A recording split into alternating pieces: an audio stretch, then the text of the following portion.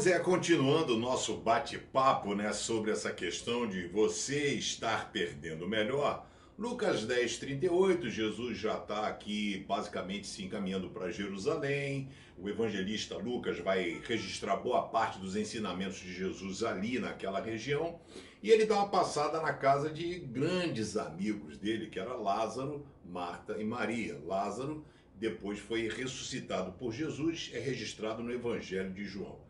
Então diz assim: Jesus e os discípulos, Lucas 10, 38, continuaram a sua viagem e chegaram a um povoado. Ali uma mulher chamada Marta o recebeu na casa dela.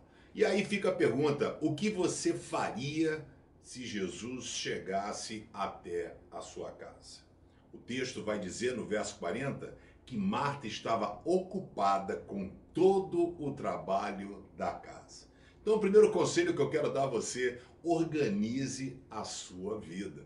Ou seja, consiga colocar as coisas em ordem. Então, de repente, Jesus vem à casa de Marta. Ela fica preocupada em assar pão de queijo, botar a coca para gelar, varrer a casa, lavar a louça, etc. E Jesus está lá parado.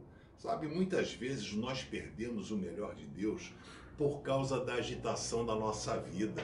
A gente sempre, não, depois eu vejo, depois a gente faz, depois eu vou, não sei. Não, organize a sua vida. Sabe, desenvolva um relacionamento com Deus, comece a ler a Bíblia, comece a estudar um pouco mais e esteja aberto para ouvir o que Jesus quer falar para você. Marta estava preocupada em servir Jesus. Será que era isso que ele queria? Ou será que ele estava buscando outra coisa? O que você tem feito com Jesus? Você está preocupado com os afazeres ou você tá, escolheu a melhor parte? Abra o seu olho, organize a sua vida, que Deus organiza todo o resto.